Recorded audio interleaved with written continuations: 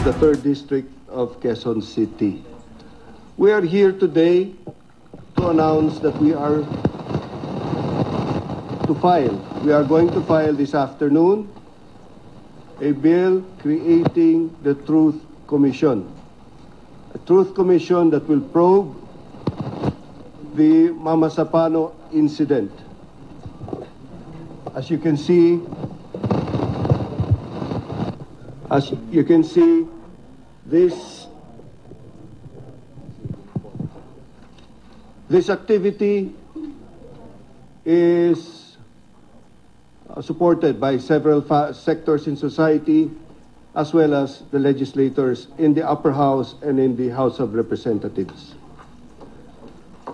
In a few days, we will be burying our fallen heroes. Huwag po natin hayaan na malib- mailibing din ang katotohanan. Huwag po tayong pumayag din na mailibing ang matagal nating pangarap na magkaroon ng makatarungan and lasting peace sa ating pinalanggang Mindanao.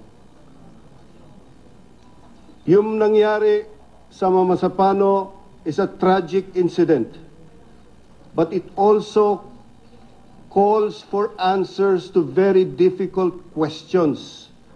Questions that strike at the very core principle of a, any peace agreement. Trust, tiwala. Sapagkat kung walang tiwala, bakit pa tayo nagkakaroon ng peace agreement? So, para bumalik ang pagtitiwala ng taong bayan, kailangan merong isang credible, independent commission na maghahanap ng katotohanan, na maghahanap ng katotohanan para sa taong bayan. And that can be done only, again, by an independent, credible truth commission. Our heroes will be buried in a few days. And last night, I was talking to Miss Erica Pabalinas, the wife of Senior Inspector Ryan Pabalinas. And she asked for one thing. She asked for justice. Justice, not only for our fallen heroes, but justice for everyone. And we can only get justice if we can find the truth. And we can only find the truth through an independent, credible truth commission. This afternoon, we legislators will take action by filing the bill. And it is our hope that the other sectors of society and our fellow legislators support us in this endeavor. With this, I'd like to turn over the floor to Senator Bam Aquino. Questions na lang siguro. Yan, Q&A. Q&A na lang tayo.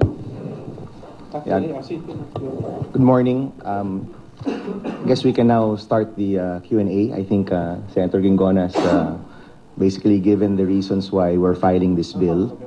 Um, do you want to make a statement from the House? Yeah, from the House of Representatives, maybe another statement.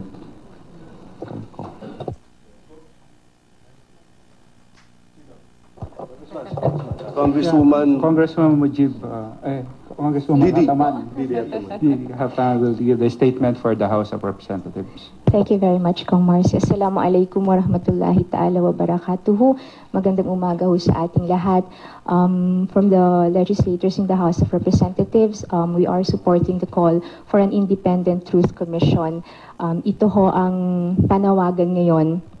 No, ah, kailangan ho nating malaman muna ang katotohanan at ah, for us to be able to truly give justice to all the victims of the Mama Sapano incident, we have to know the truth.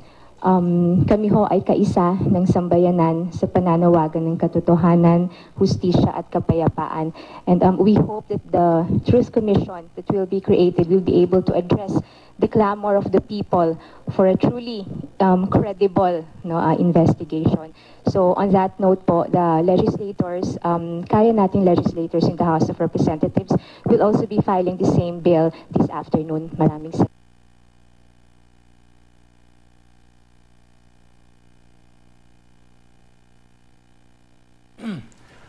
At ating po napapanood ang uh, sinasagawang press conference ng Senate Committee on Peace, Unification and Reconciliation na pinangungunahan ni uh, Senator T.G. Gona kung saan na sinabi niya o ta- uh, sinabi nila na ngayong hapon ay uh, ilalatag o iahain ang isang bill para na magbubuo ng isang Truth Commission para naman sa pag-iimbestiga ng nangyari sa noong uh, nakaraang linggo sa Mamasapano, uh, Maguindanao kung saan 44 nga na miyembro ng Special Action Forces ng PNP ang uh, napatay. Unang inanunsyo ni Senador T.G. Gingona nitong biyernes na magsasagawa raw ng masusi at patas na investigasyon sa madugong engkwentro sa Mamasapano, Maguindanao. Balikan po natin ang press conference.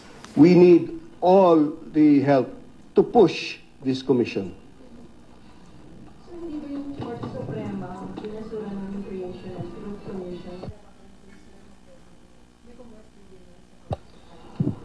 Uh, you're talking of the Truth Commission that was uh, that was created at the start of this administration. That was that was uh, that was because it was not legislation that was created by executive order. In fact, I remember one of the issues there was the, the commission had no powers of subpoena, had no powers of subpoena duces tecum, and had no powers of contempt. It's only through legislation that you can create a commission that have that can have compulsory processes like subpoena, subpoena duces tecum, and contempt.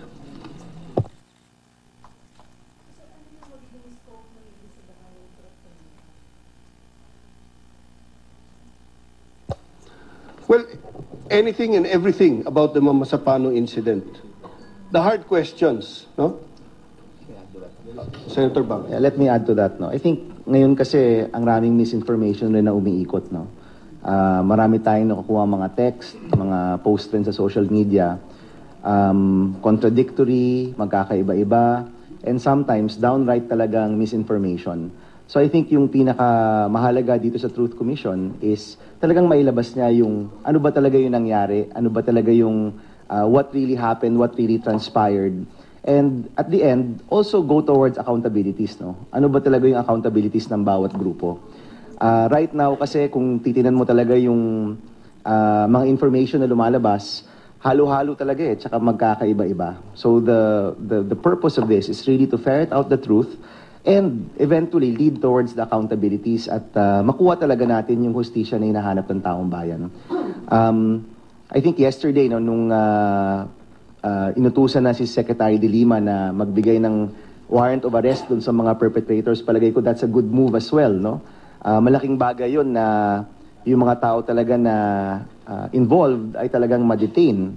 On the other hand, ah, kung ano talaga nangyari dun sa operational matters of this ah, of ah, Oplan Wolverine, so to speak, maganda ring makita na talaga natin, we really find out to the minutest detail what really happened and ah, who's really accountable for this.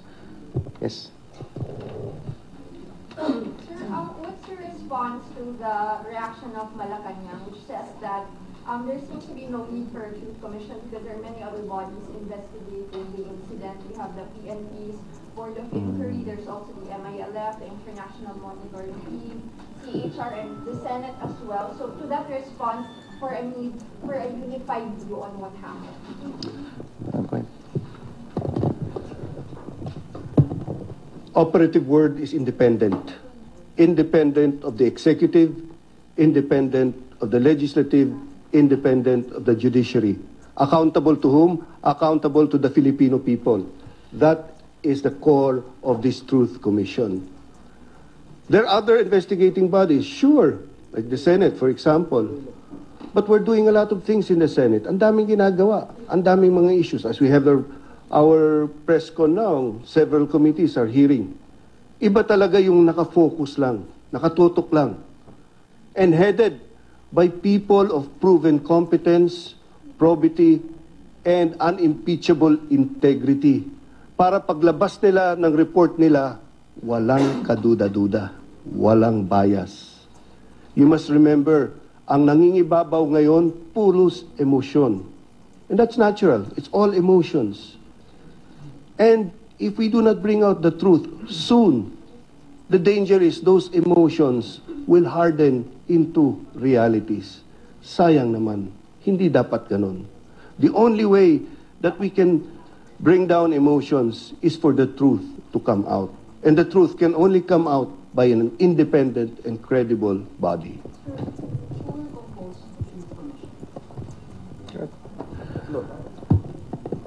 It will be appointed by the president, and we are we, we were floated several names, like former Senator Wigberto Tanyada, former Chief Justice Hilario Davide, members from the academe like uh, Dean Antonio Lavinia of the Ateneo, Grad- Ateneo School of Government, who also comes from Mindanao, uh, and others um, can be also nominated.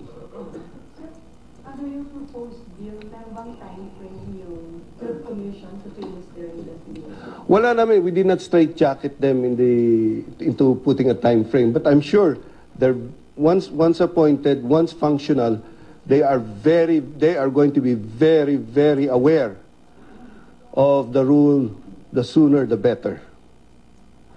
Otherwise, they will, they will also become irrelevant. So they have to do their work fast. That's why everything has to be fast. Uh, Senator, hindi ba makapopulayan din yung independence niya kung appointed by the President, especially si Presidente mismo ay sa naging role niya sa operation na to sa mga Sapano. So paano magiging independent yung commission kung siya rin ang mag-a-appoint sa mga tao mag-iimbestiga na dapat ay paliwanag who else will appoint? Yes. Alam mo, if you look at all commissions, whether in the United States or here, all commissions were appointed by the president. Um, the question there is who else will appoint? Speaker of the House? The Chief Justice? It's never been done. The only logical person who should appoint should be the president. And we have confidence. We have confidence in the leadership of the president. Its mandate will be the truth, and its accountability will be to the people. Again, the operative word is independent, credible. Independent, independent, independent. Again, sir, can we please have a rundown of the powers that you intend to give to this commission? Basically, it's, it's, not, it's not very complicated, but basically, it's the power to call anyone, to testify, to tap any entity in the country to produce documents, and to, to cite in contempt for those who defy them. How high in government do you intend to exact accountability for this? How high? Where the truth comes out, the truth will dictate how high. Can it compel the President to explain also something the Truth Commission? Can, can it compel the President to, to explain? I believe that uh, there would be no need for the word compel since we have confidence in the leadership of the president. And we believe that the president has this truth commission, will back, back this truth commission also. So how can the public be assured that it would really be an independent commission and that um, it would not spare the president in Fair enough. Fair enough. The public can be assured. That's why it's important who is appointed. Diba? It's important who is appointed. So, that's why I floated names like Senator Wigberto Tanyada, former Chief Justice Hilario Davide, Dean Tony Lavinia. It's very, very important. It's very, very crucial who are chosen because it's the it's the integrity of the person chosen. In the process. Power ng truth commission yung mag-file ng charges. No, no, no. That would that it, its its mandate would be to come out with the truth, the fact finding, and then when it comes to the prosecutorial, we already have the prosecutorial services of the government available. Um, I don't think there's need for duplication. Secondly, the, pro- the- of course, the process of the Truth Commission will be very transparent, no? so that it can be seen by all and scrutinized by all. There, there, I think considering that there would be several bodies investigating this incident, would that, there, might be confusion in the process, and how would you Let me deal answer with irreconcilable statements? Well, unang-una, ay, ako, I'm of the mindset that these uh, parallel bodies that will investigate, they really need to happen, no? Because iba-ibang perspective niyan eh. The PNP Board of Inquiry will of course report based on their perspective as our policemen. Uh, the Senate will also conduct its own inquiries. I'm sure the House at some point will also conduct its own inquiries. Mahalaga na tuloy-tuloy yan. And uh, in fact, what they produce can be consolidated, can be verified, pwede pong ibangga dun rin sa uh, kakalabasan ng uh, output ng Truth Commission. Hindi naman ibig sabihin na isang Truth Commission, isa lang dapat yung nag-iimbestiga. No? A lot of different groups can investigate. Even the media is already investigating. No? I mean, it's not a government body, pero patuloy rin yung pag-iimbestiga ng media. So mahalaga na lumalabas lahat ng mga perspektibong ito. Mahalaga na makita natin yung iba't ibang mga uh, iba't ibang sides, no? But again, no, this Truth Commission, if legislated, uh, will be the body that is supposed to come out with finality dun sa fact-finding aspect of uh, of what happened, no? So I, I can probably imagine that uh, the output of all of these bodies will also enter into the Truth Commission's work. At pag naglabas na sila ng kanilang fact-finding um, uh, output or ng kanilang report, yan po yung lalamanin ng lahat ng mga government uh, bodies na nag, nagsagawa rin ng kanilang investigasyon. How, how, how critical yung results of this truth commission to the passage of the Bangsamoro Basic Law? I think it's quite critical, no? Ah, mahalaga po talaga. I think all of us here are still supportive of the Bangsamoro Basic Law. Wala naman po sa amin dito ang ah, nag-withdraw ng aming suporta. Pero ang hinahanap po ng taong bayan ngayon, justisya, no? We need to find um, justice and the truth with regard to this issue upang pagbalik ng ah, ating talk sa BBL, mas mapapalakas pa natin yung BBL, no? Mas mapapalakas pa natin yung ating kagustuhan magkaroon ng kapayapaan.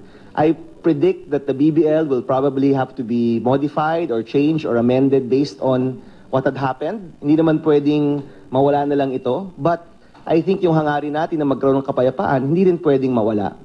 So definitely, uh, there will be repercussions and changes on the BBL because of what happened, not just because of the report of the Truth Commission or the would-be report. No?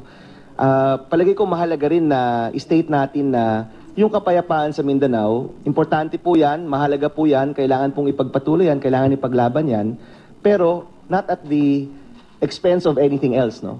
Hanapin po natin yung hustisya dito po sa isyong ito at yun naman po talaga yung hinahanap ng mga pamilya ng ating mga namatay na SAF 44. Yan din po yung hinahanap ng taong bayan. Hanapin natin yung katotohanan. I- i- let's hold accountable those who need to be held accountable. So that when we resume the talks sa BBL or when we continue the push for peace, mas mapalakas na po, mas magiging malakas pa po yung ating pagtulak tungo sa kapayapaan. Teka muna, one, more- let me just add, no, another important factor, yung pi- pinaka-prinsipyo ng kapayapaan, tiwala. Tiwala. Sapagkat kung hindi tayo nagkakatiwala sa isa't isa, bakit pa tayo mag-peace agreement, hindi ba? Pero paano babalik ang tiwala kung walang hustisya? Kung hindi managot ang dapat managot? So very important ito sa peace process. Very, it is essential because this strikes at the core principle of peace. Tiwala sa isa't isa. Sir, until all those involved are accounted for or held accountable, charges, meaning charges are filed in court, in the meantime, the passage of the BBM will be delayed. Can I answer that? Well, alam nyo, ngayon po kasi sa Senado, no, tuloy-tuloy po yung committee, well, na-suspend, I think, yung ah, hearings on the BBL, di ba? Pero marami pa pong issues na kailangan talakayin doon, no? Ah, I think si Senator Miriam is ah, tackling the constitutionality. Ah, kami po sa aming opisina, marami pong mga naghikayat ng concerns ng indigenous peoples at ng mga kabataan. So a lot of these um, meetings and hearings can probably continue. But yung final output po natin, uh, I think that one, uh, talagang maapektuhan po yan itong ating uh, mga pinag-uusapan. Kasi hindi naman po yan basta-bastang ipapasa eh, no? Marami pa pong kailangan gawing mga pag-aaral, mga hearings na tuloy-tuloy naman po yung pagsasagawa niyan So I would suggest that um, we settle the issue on the SAF 44, yung justice po for the SAF 44 as soon as possible. So we can really go, get back to the BBL as soon as possible also. But hindi naman po ibig sabihin nun, yung mga ibang bagay ay hindi naman po pwede magpatuloy din.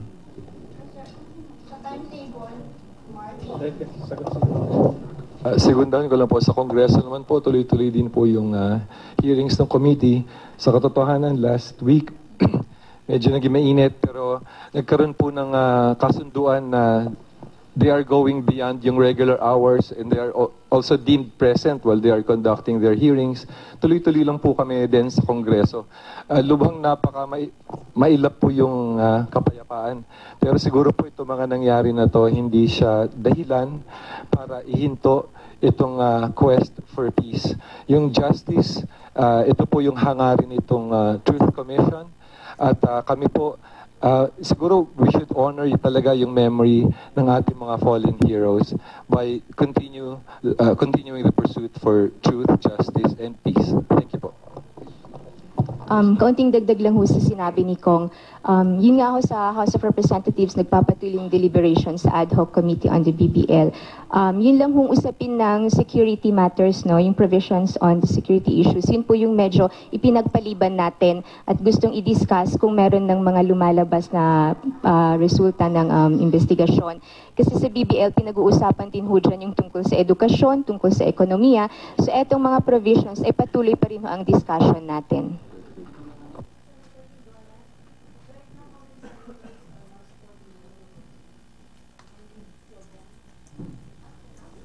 Well, we're just filing it today. No? Ngayon pa lang po natin to ifa-file. So today, three, hopefully very soon we'll get uh, uh, some more colleagues to join us in this.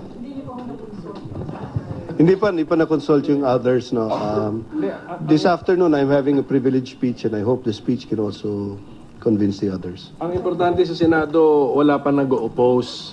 Kasi sa Senate naman, ang tarang, ano, silence means yes.